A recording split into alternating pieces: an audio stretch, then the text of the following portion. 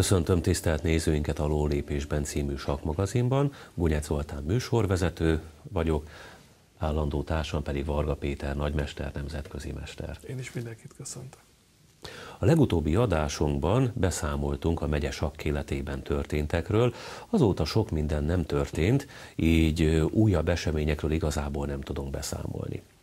Az előző adásunkban az első orosz sakvilágbajnoknak egy nagyszerű kombinációjáról ö, tudósítottunk, azt mutattuk be, ez adta az ötletet, hogy a mai adásunkat az első orosz sakvilágbajnoknak, dr. Alexander Aljehinnek szenteljük. Dr. Alexander Aljehin 1892. október 31-én született Moszkvában, nemesi családban, édesapja kormányzó volt, és 1946. március 24-én halt meg Portugáliában, Estorilban. Ugyanott volt emigrációban, egyébként ugyanabban a városban Vitéz nagybányai Horti Miklós is, de hát nem sakkoztak egymással Hortinak a szerencséjére. A fiatal Aljehin 7 évesen ismerkedett meg a sakkal, hamar beleszerelmesedett, legnagyobb ellenfele Alexei Aljehin volt a bátyja, akivel sokáig együtt haladt, 12 éves korától már rendkívül mélyen és alaposan ismerkedett a sakkal. Édesapja még fizetett sakkedzőt is hozatott, Duszhotyimirszki adott neki fizetett órákat, de hát a Moszkva Arbat, Arbackaján lévő lakásukban, palotájukban rendszeresen voltak vendégek, az ország vezető sakkozói, Bogatircsuk, Blumenfeld például, aki egy megnyitásnak is a kidolgozója és névadója volt. Algyehin amellett, hogy norm, normális eredményeket ért el az iskolában is, tehát nem volt igazából iskola első, bár brilliáns eszű gyermek volt, a civil életben elvégezte Moszkvában a jogot is, jogász volt, Később emigrációjában a Párizsi Szorbon Egyetemen is doktorátus szerzett jogból. Gimnáziumi tanulmánya során nem volt kiemelkedő, ami annak volt köszönhető, hogy akkor is sakkozott. A tizenéves Aljehin természetesen nem sakkönyveket és sakkújságokat böngészhetett a cári birodalom gimnáziumában, ez egyszerűen lehetetlen volt, ez valami új divat manapság lehet, hogy előfordulhat az ilyen, de akkoriban nem volt ilyen fegyelmezetlenség megengedhető a gimnáziumban. Aljehin vakon sakkozott akkoriban, emlékezetében elraktározott nagyon sok feladványt, és unalmas órákon azoknak a megfejtésével csiszolta a saktudását. A tanárának visszaemlékezése szerint egy esetben algebra dolgozatot írtak, Aljehin hihetetlenül koncentrált a dolgozatírás közben, majd egyszer csak felpattant, szőkésvörös haját csavargatva, derült arccal nézett szét, és közölte, hogy megvan tanára megkérdezte, hogy megtalálta-e akkor a végeredmény, mire mondta, hogy igen, a huszár kell beáldozni F7-en. De ez meglepő válasz volt egy algebra dolgozat során. A jövendő világbajnokot az egész osztály kinevette ekkor. Aljehin egyre inkább belemélyedt a versenysakba. Első nemzetközi versenyein tisztes jó eredményt ért el. Természetesen ekkor még nem volt győztes a versenyeken, de sokan már ekkor felismerték, hogy igazán jelentős sakkozó lesz belőle. Egy ismert orosz mester közölte a mestertársával, hogy megtaláltam a jövendő világbajnokot, aki orosz lesz.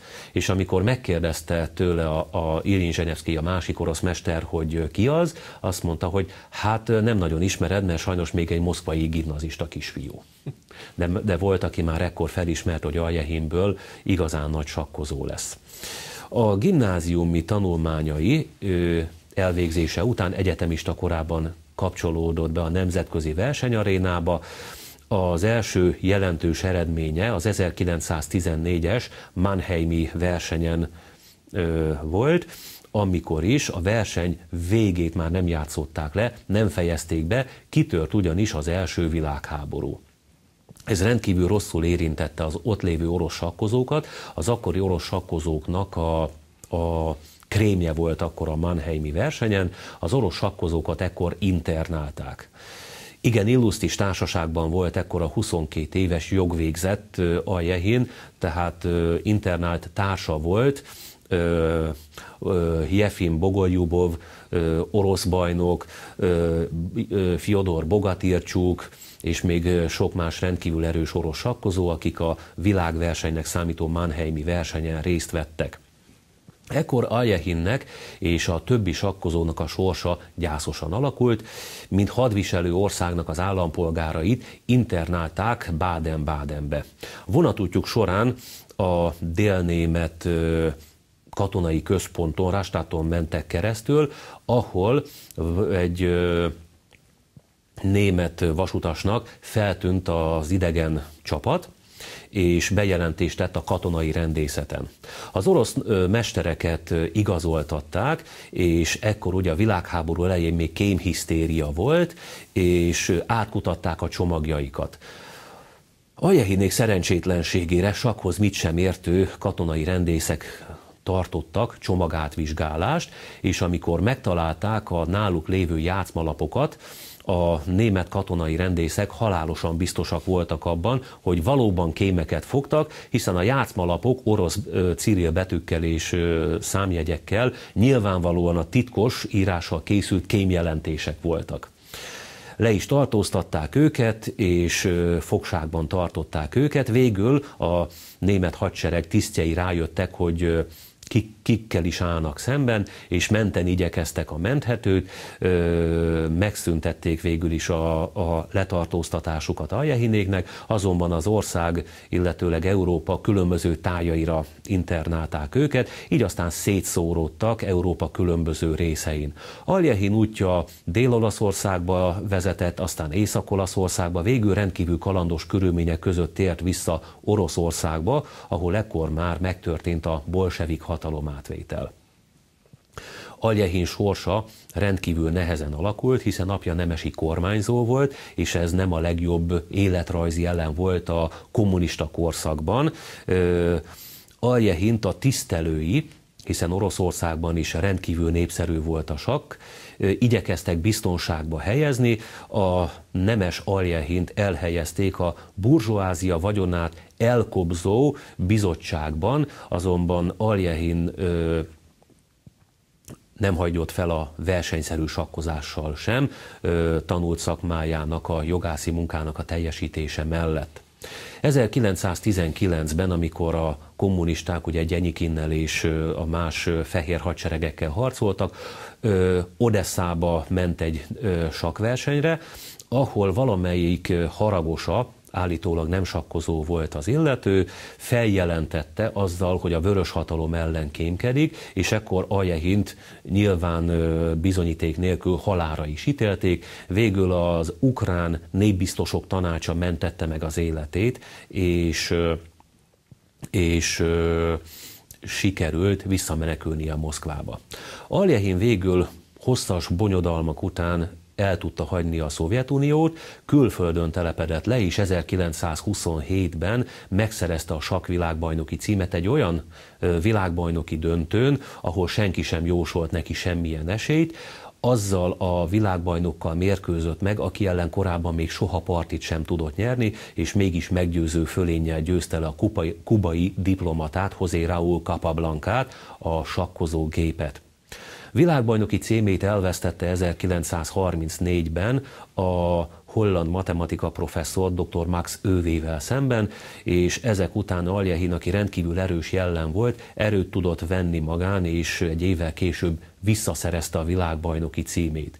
Világbajnokként halt meg 1946-ban, ezt követően ugyanis vívott még ugye világbajnoki döntőket, de senki sem tudta megverni. Most szeretnénk bemutatni honfitársával, Jefin Dmitrijevics Bogoljubovval vívott világbajnoki döntőiről egy nagyszerű győzelmét. A vezércsel egy divatos változatában, egy gyalogáldozatos változatban tudta bizonyítani, hogy miért is veszélyes a gyalogelőny megtartására, játszva a fejlődés elhanyagolása a parti kommentálására a legavatottabb szakembert, Péter Nagymestert szeretném felkérni. Világosan volt a Jehin, és ugye sötéttel volt Bogó Jobov. D4-jel kezdett a Jehin, ugye a zárt rendszereket nagyon-nagyon jól játszotta, Aljehin, de emellett ugye nagyon jó taktikus volt, ugye azt tudni kell, hogy ugye a D4-es rendszerek azok rendszerint inkább olyan zártabbak, de nagyon-nagyon sokszor nyílnak ki, és nagyon sokszor válnak taktikus, dinamikus állássá. D4, amire uh, sötét D5-tel válaszolt, ugye ebben az időben ez volt a legnépszerűbb lépés, C4 következett C6, ugye a szláv védelem uh, került Mit is játszhatnak két orosz egymással? Hát igen, egy jó kis szláv védelmet. Huszár F3 következett, Huszár F6, Huszár C3, és ugye D üti C4. Ez ma is játszák rendszeresen egy elég komoly megnyitás. Itt nagyon sokan E6-tal folytatják, vagy A6-tal folytatják már. Szokta a G6-ot is lépni, de talán a leg népszerűbb most az E6-tal, D C4 helyett az E6-tal való folytatás, de, de ez még mindig természetesen egy korrekt jó megnyitás. A4, ugye ez B5 ellen szokott jönni, világos ugye A4-jel folytatta a játékot, arra következett E6, A4, megérkezett a gyaloggal, ugye E6 következett feketével, ami már egy picit ugye hiba, azt mondanánk, de, de egyre többen játszák ezt is, és utána C5-tel, E3 után. Most E4-jel jött fehér, ugye a gyalogot megtolt E4-re, amire futó B4 következett, és erre ugye E5-tel folytatta fehér, tehát megszerezte a centrumot, és, és hát ugye a másik lehetősége E5-nél, hogy vezér C2-t lép, és megvédi az E4 gyalogot, és ugye utána ha B5, akkor futó E2-vel fejlődik fehér, és huszár BD7-re pedig rövid sánc után nagyon jól áll világos ebben a szerkezetben. Ugye ővé a centrum, egy gyalogot beáldozott, de B5-től is fenyeget azonnal ütni. Nézzük a partit. Tehát Huszár D5 következett, ugye, ami egy pontatlan, vagy úgy is fogalmazhatnánk, hogy rossz lépés. Huszár N4 pontosabb lépés, ugye, hogy azonnal kihasználjuk. Futó D2-vel kivéttük a kötést, ugye, futóüti C3 következett, erre ugye B-vel ütött vissza, B gyaloggal világos, amire fekete B5-tel megvédte a C4 gyalogot. A gyalog előnye van, de meglehetősen fejletlen az állása, és a tisztek be vannak zárva a gyalogok mögé. Igen. A rossz az a sötétnek az a világos mezejű futója. Igen, tehát ott az, az nem nagyon játszik még, ugye a gyalogér viszonylag passzív, tehát védekező e, szerkezetet vállal a fekete, amit e, világos, ugye azonnal uh, szeretne kihasználni, tehát azonnal megindítja a támadó lépéseit és a támadást, ugye huszár G5-tel. Ez egy nagyon jó lépés, ugye támadó helyre tesszük a huszárt, megnyitja a vezérnek az útvonalat, ugye a huszár mellé H5 felé, úgyhogy nem tud sáncolni fekete, mert, mert elég nagy támadás jönne. Emellett nagyon sokszor ugye visszamegy a huszár a centrumba E4-re, és D6 pontot is el tudja foglalni, tehát, tehát egyértelműen nagyon nagy támadása és aktív játéka van világosnak. F6 következett. Ez egy picit furcsa lépés, de, de én úgy gondolom, hogy, hogy itt azért túlságosan is vakmerő lépés ez az F6. Én, én itt lehet, hogy más léptem volna, akár hogy van vezérel hét lett volna valószínűleg a legjobb, legbiztonságosabb lépés. Ezzel az F6-tal túlságosan is magunkra nyitjuk az állást. EÜT F6 következett. Ugye ez nagyon jó lépés, ugye nyitjuk az állást a feketére, amire huszárral ütött vissza. Ugye ez, ez most meg egyértelműen megint hiba, itt gyaloggal kellett volna visszaütni, az lett volna a legjobb lépés. G üti F6, és arra hát arra is jobban áll fehér, de ugye ez a huszár F6 után meg egyértelműen jobban állunk, ugye futó E2-vel, ugye H5 felé akarjuk be, beindítani ezt a futót, a másik pedig az, hogy F3 felé tehát vagy azonnal futó F3, vagy ugye A üti B5, C üti B5 után következne futó F3, és a nagy átlóra kerülne a futónk. A6 következett, ugye megvédte a B5 gyalogot, amire futó F3 jött azonnal, ez egy nagyon erős lépés, ugye most fenyegetek B5-re ütni, amit nem tud visszaütni jól fekete.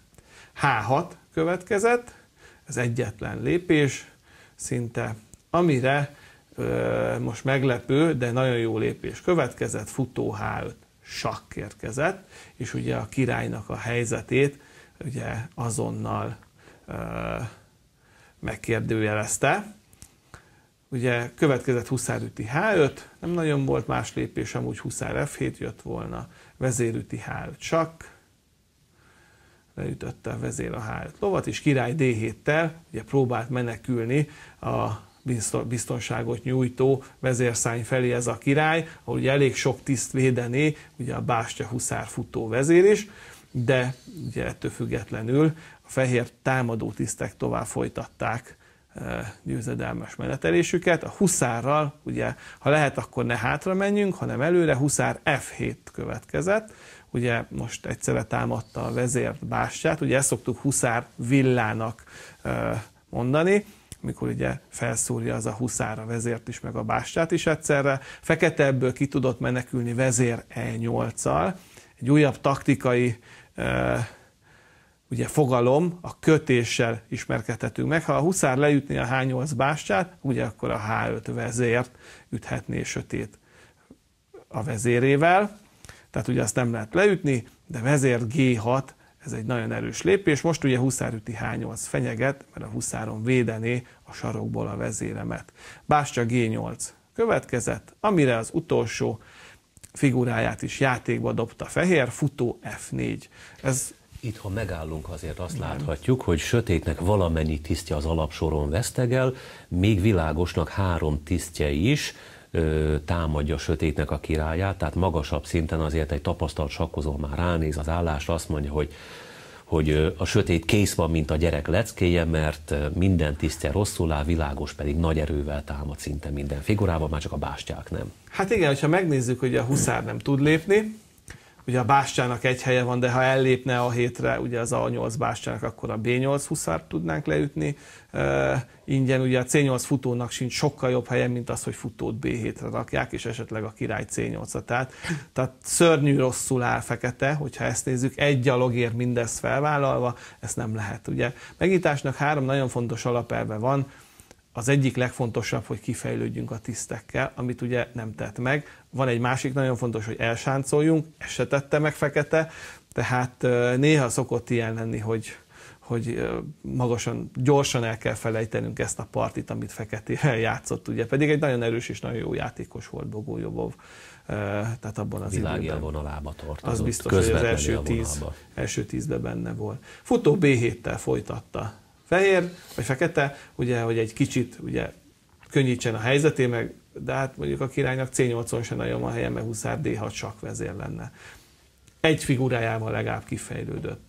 Következett eh, futó G3, amire király E7, futó D6, király D7, és most elsáncol. Tehát világos utolsó ugye, figuráját is, a királyát is e, ugye el rakta biztonságba, és ugye, amit a táblán is lehet látni, F4, F5 a fenyegetés. Tehát, hogy rányissa az F vonalat, és ugye az a bástya is játékba avatkozzon, vagy ugye a másik A1 bástyával ugye E1-re, a másik bástya mellé menni, és F4, F5-tel gyakorlatilag az összes tisztje, mind, a, mind az öt tisztje játszik és támad fehérnek. Ez egy hihetetlen parti, tehát e, e, Következett, nem nagyon van sok jó lépés, feketével C5, feke, tehát legalább a futó átlóját kinyitotta, D üti C5 jött, amire futó D5, következett ugye próbálja magát összetoldozni, foldozni, már csak huszár C6 lenne,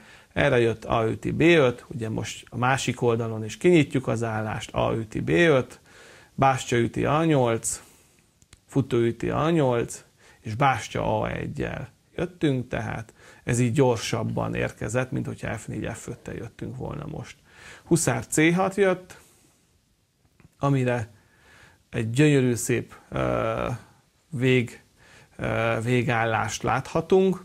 Ugye Huszár E5 következett, felkiáltó jellel, ami gyakorlatilag azonnal szinte mattot eredményezett, ugye itt feladta Bogoljobov. Itt ugye, hogyha ezt leütné huszárral ezt az E5 tisztet, azt még nézzük meg egy picit. Itt. Igen, ott igen, huszár E5, csak huszár üti E5, és ugye huszár üti E5, és arra bástya A7 csak, ugye egy közbeiktatás, amire király C6 jönne, és arra pedig vezér E4 mattal zárult volna ez a parti. Hát ugye látjuk a G8 bástyának a helyzetét, az E8 vezérnek a helyzetét, most nézhetjük az A8 futónak, tehát, tehát valami eszméletlen nagy uh, nagyon megverte. hátránya volt. Ez, ez nem is küzdelem volt, hanem inkább hentes munka, mészárlás volt. Már az első parti rámutatott arra, hogy az örök optimista Bogolyubov nem sok reményt fűzhet a világbajnoki cím megszerzéséhez. Hát nem. Tehát... Kétszer is megküzdött Aljehinnel, honfitársával, mind a kétszer vereséget szenvedett tőle. És hát ilyen játékkal, tehát ez, ez, ez gyakorlatilag egy demoralizáló vereség is volt, tehát nem csak ez volt ugye a probléma, hanem maga az, hogy sokkal jobban játszott ugye a Jehimbogolibovnál. Ebben az időszakban, az 1930-as évek elején Aljehin gyakorlatilag korlátlan úr volt a világ életében, valamennyi versenyt, ahol elindult, megnyert, és pedig nem egyszerűen félpont előnnyel, így úgy amúgy, hanem torony magasan, utcahosszal. Ekkoriban már a hipermodern sakkeszmék kezdtek kikristályosodni a sakkvilágban, Aljehin magát nem tartotta sem egyik, sem másik irányzathoz valónak, ő azt mondta, hogy ő nem foglalkozik teória kisasszonyjal, azaz a sakkelmélettel, valójában nagyon sok szép rendszer dolgozott ő ki, ő egyszerűen járta maga útját és a maga sakját. 1931-ben a számára talán legdicsőségesebb Ledi versenyen találkozott a hipermodern sakk ö, atyával, Áron Nimzovicsal, aki magát a világbajnoki cím várományosának tekintette, és az egész sakvilág úgy nézett Nimzovicsra, hogy ő egy, egy igazi világbajnok jelölt, akiből még az a sakkozó lehet, aki meg tudja verni Aljehint. Aljehin rendkívül fontosnak érezte, hogy úgymond helyre tegye a címére törekvő Nimzovicsot, és rendkívül kihívóan kezelte a partit.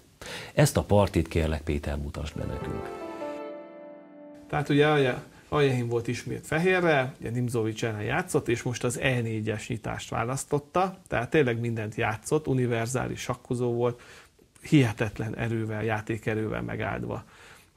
E6, élményszámba mentek a partiai. Francia védelembe tértek a Igen. játékosok. D4, D5, huszár C3, futó B4, és ugye ez a huszár G-E2, vagy huszár E2, ez egy érdekes mellékváltozat, még, még ma is játszák rendszeresen, ugye, de egy már mellékváltozatnak számít, de, de egy nagyon érdekes és jó lépés.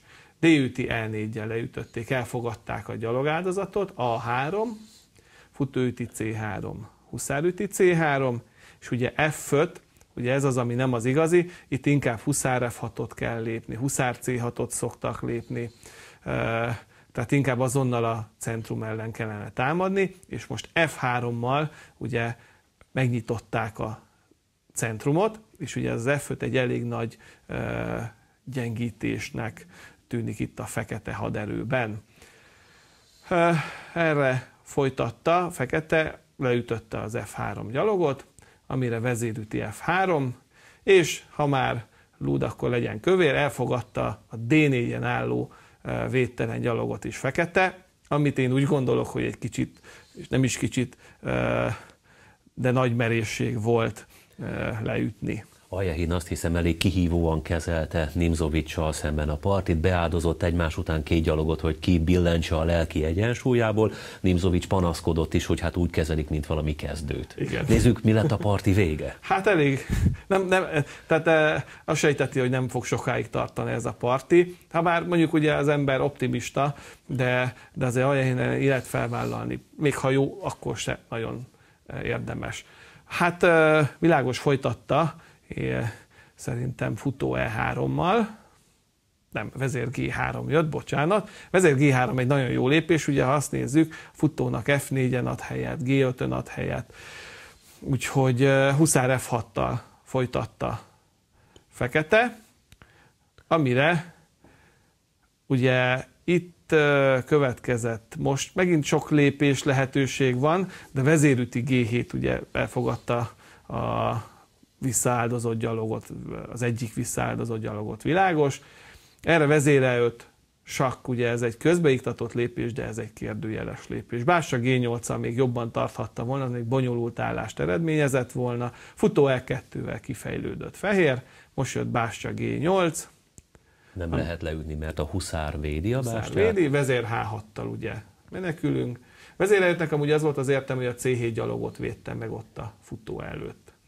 Bástya G6-tal űzte tovább azt a vezért, vezér H4 következett, amire futó D7 már pontatlan volt. Ha a G2 gyalogot ütötte volna, akkor futó F4 azonnal nyert volna, és hosszú sánccal fehér azonnal e, nagy nyerést e, Hát igen, nem tudja tovább védeni az F6-on álló huszát sötét. Hát igen, és ott is. gyakorlatilag ott, ott azonnal vége. Ugye futó D7-re futó G5 következett, amire futó C6 jött, ugye ez ismételten egy hiba, de ez az ultra vagáns játék most ez ebben tornyosult ki, és hosszú sánc után, ugye ha megnézzük ugye az alapelveket, világos, ugye betartotta, kifejlődött tisztjével, elsáncolt, ugye megította az állást, és a középereket királynő ellen, meg a középereket király ellen Nagyon gyors támadást, indít. támadást indított fehér. Következett sötéttel futóüti G2, ugye egy újabb gyalogot leüt, de hát ez már a, a, a vesztésnek az utolsó e, ugye jele. Legalább legyen még ugye most két gyalog előnyöm, de gyakorlatilag azonnal elveszítjük a partit.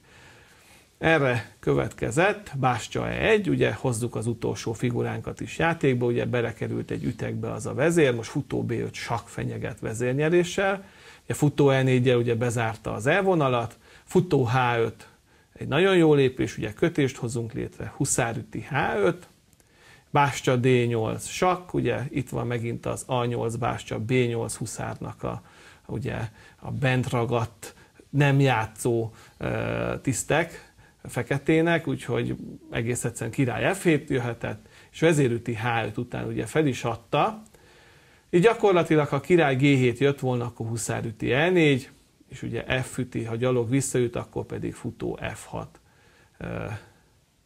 Vagy futó H6, bocsánat, futó H6 nyert volna, és akkor lenyedik a vezért ott E5-ön. Tehát egész egyszerűen 19 lépésben megint így agyonvágni egy, egy ugye idézőben világ, igen, sakkozót és világbajnok jelöltnek kikiáltott ugye Nimzovicsot, hát ez a, ez a nagyságát jelenti megint Aljehimnek. Ennyi fért a mai adásunkba, köszönjük megtisztelő figyelmüket, viszontlátásra! Viszontlátásra!